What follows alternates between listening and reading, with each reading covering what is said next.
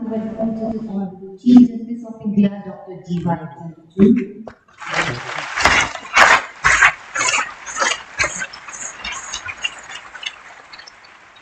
We also extend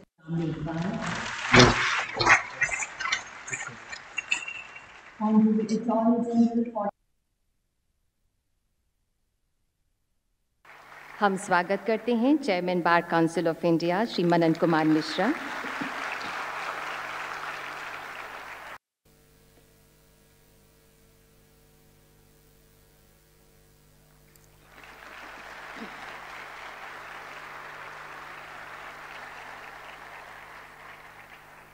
ପ୍ରତ୍ୟେକ ଲୋକ ଏଣିକି ଆଇନକୁ ଭଲ ଭାବେ ବୁଝିପାରିବେ। ଏହା ଉପରେ ଗୁରୁତ୍ୱ ଦେଇଛନ୍ତି ପ୍ରଧାନମନ୍ତ୍ରୀ ନରେନ୍ଦ୍ର ମୋଦି। ଦିଲ୍ଲୀରେ ଅନୁଷ୍ଠିତ ଅନ୍ତର୍ଜାତୀୟ ଅଧିବକ୍ତା ସମ୍ମିଳନୀକୁ ଉଦ୍ଘାଟନ କରି ପ୍ରଧାନମନ୍ତ୍ରୀ ଆଇନ କ୍ଷେତ୍ରର ଲୋକଙ୍କୁ ସମ୍ବୋଧିତ କରି କହିଛନ୍ତି ଯେ ଆମେ ଭାବୁଛୁ ଦେଶରେ ଆଇନକୁ ଦୁଇ ପ୍ରକାର ଉପସ୍ଥାପନ କରାଯିବା ଦରକାର। ଏହି ଦୁଇଟି ଭାଷା ମଧ୍ୟରୁ ଗୋଟିଏ ଚିଠା ସେହି ଭାଷାରେ ରହିବ ଯେଉଁ ଭାଷାକୁ ଆଇନ ବ୍ୟବସାୟୀମାନେ ନ୍ୟାୟ ପ୍ରକ୍ରିୟା ପାଇଁ ବ୍ୟବହାର କରିବେ। ସେହିପରି ଦ୍ୱିତୀୟ ଚିଠା ସେହି ଭାଷାରେ ହେବା ଦରକାର ଯାହାକୁ ସାଧାରଣ ଲୋକେ ବୁଝିପାରିବେ। ସେହିଭଳି ମନ୍ଦ ଉଦ୍ଦେଶ୍ୟ ଲାଗି ଆର୍ଟିଫିସିଆଲ ଇଣ୍ଟେଲିଜେନ୍ସର ବ୍ୟବହାର ସହିତ ସାଇବର ଆତଙ୍କବାଦ ଓ ମନି ଲଣ୍ଡରିଂକୁ ନେଇ ଉଦ୍ବେଗ ପ୍ରକାଶ କରିଛନ୍ତି ପ୍ରଧାନମନ୍ତ୍ରୀ।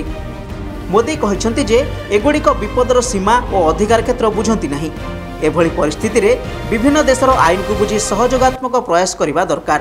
ତେଣୁ ସମସ୍ତେ ଯେପରି ଆଇନକୁ ଭଲ ଭାବେ ବୁଝି ଜାଣିପାରିବେ ଏବଂ ସଚେତନ ରହିବେ ସେ ନେଇ ଗୁରୁତ୍ୱାରୋପ କରିଛନ୍ତି ପ୍ରଧାନମନ୍ତ୍ରୀ देश के पहले प्रधानमंत्री पंडित जवाहरलाल नेहरू देश के पहले गृह मंत्री सरदार वल्लभ भाई पटेल आजादी के समय देश को दिशा देने वाले लोकमान्य तिलक हो वीर सावरकर हो ऐसे अनेक महान व्यक्तित्व भी वकील ही थे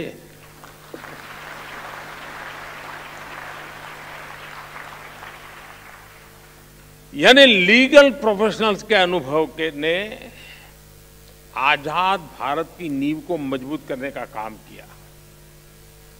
और आज जब भारत के प्रति विश्व का जो भरोसा बढ़ रहा है, उसमें भी भारत की निष्पक्ष स्वतंत्र न्याय व्यवस्था की बड़ी भूमिका है।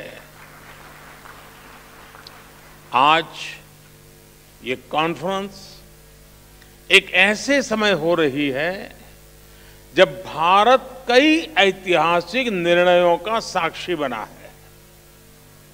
एक दिन पहले ही भारत की संसद ने लोकसभा और विधानसभाओं में महिलाओं को 33 परसेंट आरक्षण देने का कानून पास किया।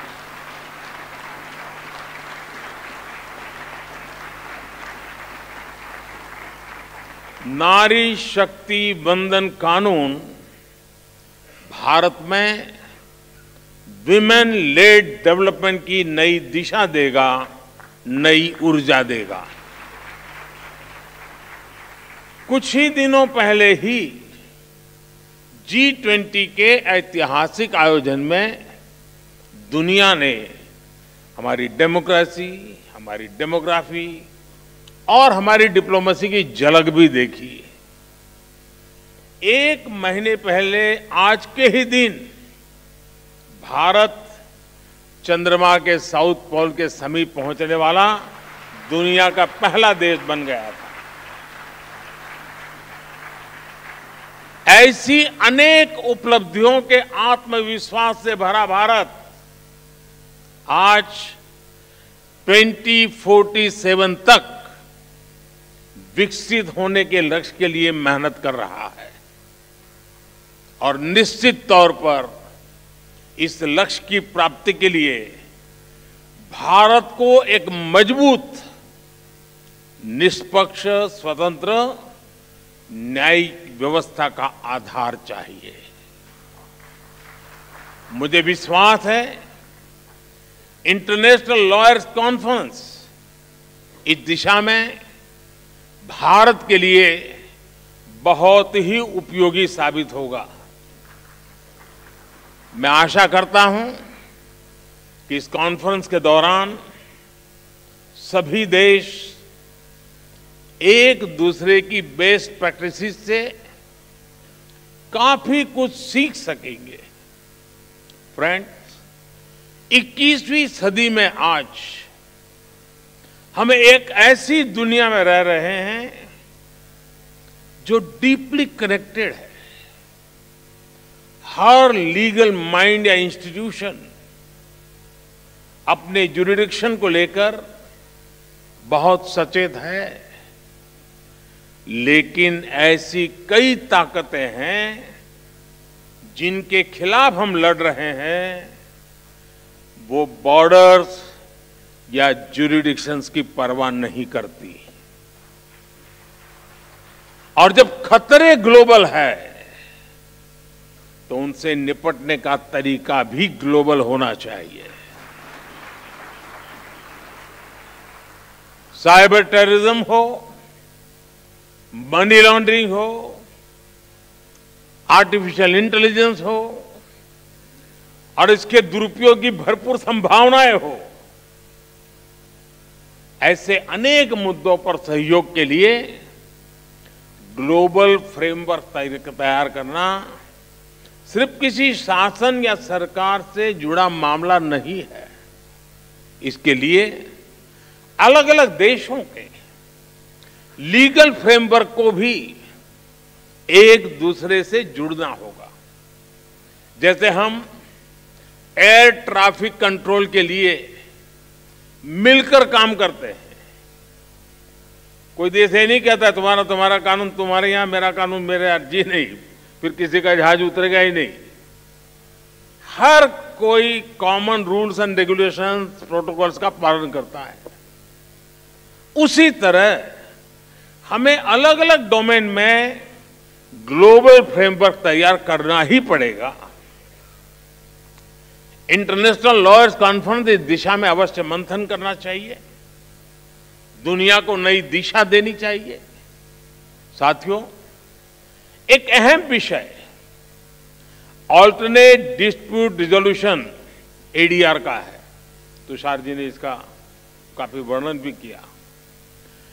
कॉमर्शियल ट्रांजैक्शन की बढ़ती कॉम्प्लेक्सिटी के साथ दुनिया भर में एडीआर का चलन भी तेज़ी से बढ़ा है। मुझे बताया गया है, इस कॉन्फ्रेंस में इस विषय पर भी विस्तार से बात होने वाली है। भारत में तो सदियों से पंचायत के ज़रिए विवादों के निपटारे की व्यवस्था रही है, हमारे संस्कार में रहा है। इस इनफॉर्मल व्यवस्था को एक व्यवस्थित रूप देने के लिए भी भारत सरकार ने मीडिएशन एक्ट बनाया है। भारत में लोक अदालत की व्यवस्था भी विवादों को हल करने की दिशा में बड़ा माध्यम है। और मुझे याद है, मैं जब गुजरात में था तो एवरेज एक मामला का न्याय होने तक सिर्फ़ 35 पैसे का खर्च होता था 35 पैसे। यानी ये व्यवस्था हमारे देश में होती है। पिछले छह साल में करीब सात लाख केसेस को लोक अदालतों में सुलझाया गया है। साथियों जस्टिस डिलीवरी का एक और बड़ा पहलू है, जिसकी चर्चा बहुत कम हो पाती है। वो है भाषा और कानून की सरलता। अब हम भारत सरकार में भी सोच रहे हैं कि कानून दो प्रकार से प्रस्तुत किए जाए। एक, जिस भाषा पे आप लोग के आदि हैं, वो वाला ड्राफ्ट होगा।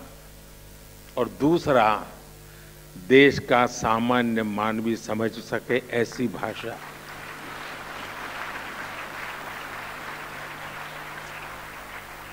उसको कानून भी अपना लगना चाहिए।